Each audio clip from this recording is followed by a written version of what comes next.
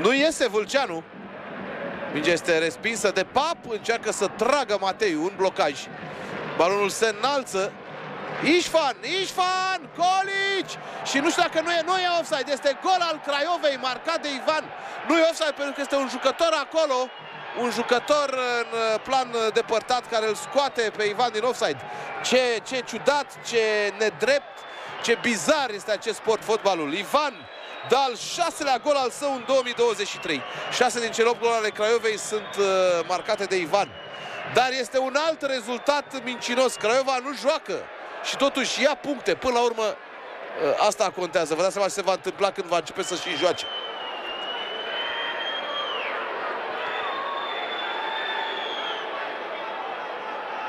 Nu știu cui i-a dat uh, galben.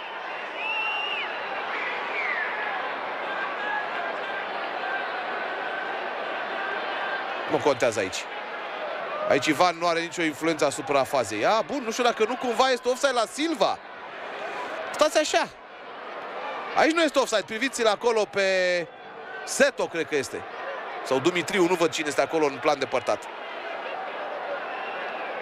Da, Dumitriu, Dumitriu nu se repliază suficient de repede și îl scoate pe Ivan în poziție de offside, dar, dar, ceva mai devreme pare să fie în offside Raul Silva, care intră într-un duel cu un adversar și influențează faza, mingea sare, aici este Raul Silva, sare la Ișfan.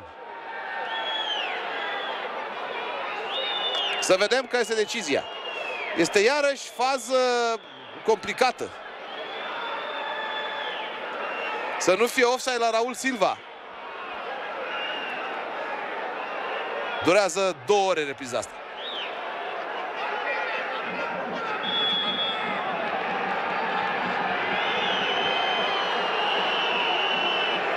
Vă dați seama ce frustrare trebuie să fie pentru ploieșteni.